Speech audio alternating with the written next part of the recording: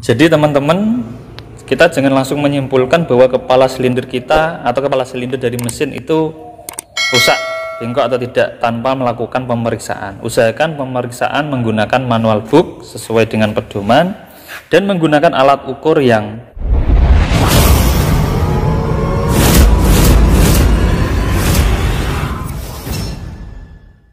Assalamualaikum warahmatullahi wabarakatuh mari kita melakukan pengukuran kerataan atau kebengkokan dari kepala silinder atau head cylinder pada sebuah kendaraan.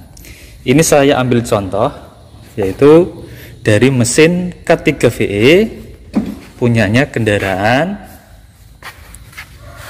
Avanza 4 silinder. Nah, ini keluhannya adalah mesin mengalami gangguan karena kesalahan pada sistem pendingin kemarin yaitu mesin macet karena sistem pendingin bermasalah. Akibatnya terjadi overheating dan diprediksi terjadi kerusakan pada silinder. Nah di depan ini mari kita lakukan cara memeriksanya kita pastikan apakah benar kepala silinder ini melengkung atau molet. Nah, itu wajib dilakukan pengukuran terlebih dahulu. Nah, sebelum pengukuran, kita wajibkan kepala silinder harus dalam keadaan bersih ya. Biasanya kita cuci atau kita scrub ya, kita scrub, kita cuci dengan solar ataupun bensin sampai bersih ataupun pakai cairan pembersih lainnya. Ini contoh.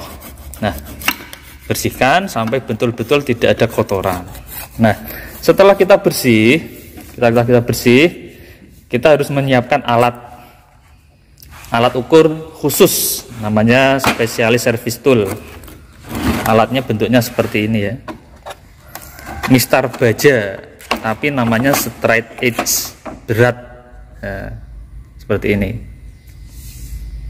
Nah straight edge dan dibantu dengan alat ukur tambahan yaitu berupa failer atau puller atau thickness gauge dan jangan lupa kita siapkan manual book ya manual book. Manual book seperti ini. Ini kendaraannya K3VE jadi kita siapkan bagian mana yang perlu dilakukan pengukuran dan berapa limitnya atau batas keolengannya. Nah, di sini silinder blok ada 6 sisi, batasnya adalah 0,04 mm. Ya, 0,04 mm. Jadi kalau sudah melebihi 0,04 dapat disimpulkan blok silinder ini sudah dalam keadaan tidak rata atau molet atau melengkung akibat dampak dari overheating. Mari kita mulai. Setelah bersih, langsung saja kita lakukan pengukuran. Ada 6 titik atau 6 sisi. Sisi A ya. Perhatikan cara menaruhnya ya. Usahakan lurus betul. Kemudian sisi B ya. Sisi C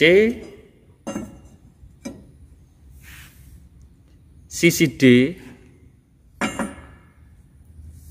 Ya sisi E karena ada 6 sisi E dan sisi F.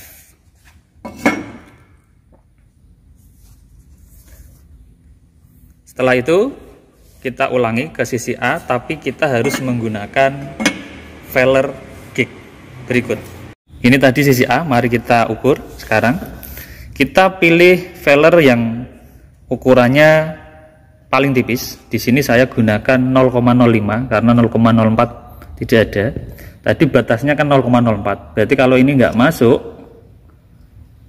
ya, berarti hasilnya adalah 0,04. Ya. Atau di bawah 0,04. Ya ini kita pakai 0,05 ternyata tidak masuk failernya.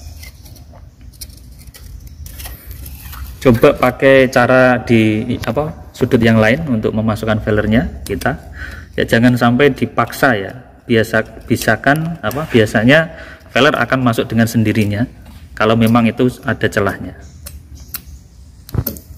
Nah dan ternyata 0,05 untuk sisi A tidak masuk. Kemudian yang sisi B selanjutnya ya sisi B kita lakukan. Ya sama juga. Ternyata tidak masuk juga. Nah, sisi C.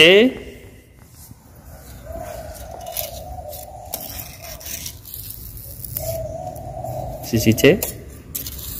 Cari yang tidak ada lubangnya ya. Karena biasanya kalau kita sisi C ini ada yang berlubang kita masukkan yang tidak ada lubangnya. Nah. Ya aman aman aman aman aman. Kemudian sisi D.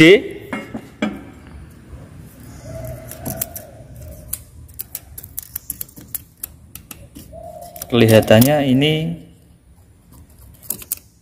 dari empat titik tidak ada yang masuk ini filternya kemudian sisi E ya sisi E bisa diputar ya sisi E ya, seperti ini. Ya. Dari luar. Ya aman. Ya. Tinggal satu sisi yaitu sisi F. Di F iya.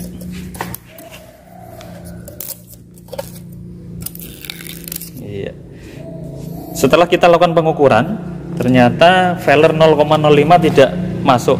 Jadi dapat kita simpulkan karena limitnya adalah 0,04 dan 0,05 nggak masuk saya simpulkan untuk kepala silinder ini masih dalam keadaan rata atau tidak melengkung.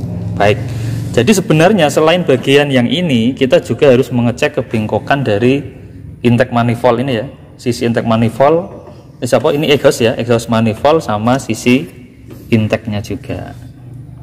Ya. Jadi sama ya sama untuk tapi yang membedakan adalah sisi apa limitnya. Kalau yang sisi intake manifold itu adalah 0,10 sedangkan yang exhaust 0,05 ya. Tapi ini saya kasih yang bagian bagian setnya saja yaitu limitnya 0,04 mm jadi kesimpulannya adalah silinder ini dalam kepala silinder ini dalam keadaan baik masih bisa digunakan.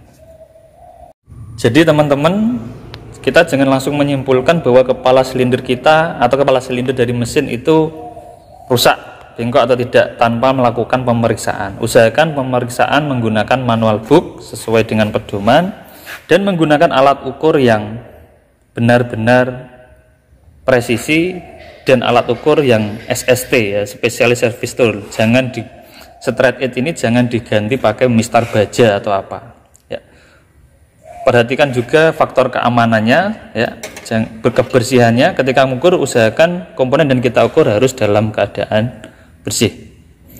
Jadi simpulkan yang benar menggunakan alat ukur yang benar dan dapatkan hasil yang benar.